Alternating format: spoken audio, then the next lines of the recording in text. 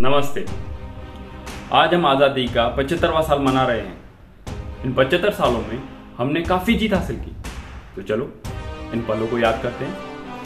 सन अठारह आनंदनी बाई जोशी, जो पहली महिला बनी, जिन्होंने फिजिक्स में जीत हासिल की। वो ट्रेन हुई वेस्टर्न मेडिसिन लिए और साथ ही वो पहली महिला हैं जिन्होंने यूएसए में ट्रेवल किया कहते हैं ना आज की जनरेशन में नारी और नर में कोई अंतर नहीं रहा। इसका एक example Roshni Sharma. She is the first women to ride motor bike from Kanyakumari to Kashmir खूबसूरती में हम इंडियन वुमेंस की बात ही कुछ हटके है।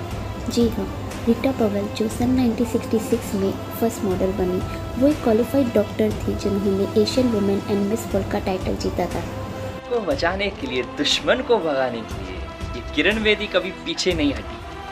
जी हाँ Kiran Bedi first women officer of India अरे भाई, आप इसे कैसे भूल गए? हमारी first women prime minister of India Shrimati Indira Gandhi ji. देश को प्राउड फील कराने के लिए हम मेल्स भी कभी पीछे नहीं हटे।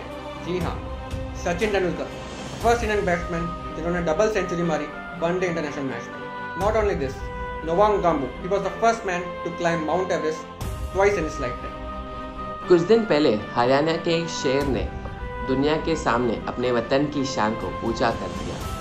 हमारे देश के नीरज चोपड़ा, जो पहले पुरुष बने, जिन्होंने ओलंपिक्स के एथलेटिक क्षेत्र में गोल्ड मेडल हासिल किया।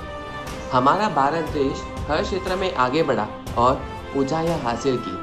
वो दिन दूर नहीं, जब दुनिया भारत के सामने झुकेगी और हर भारतीय को गर्व होगा भारतीय होने का।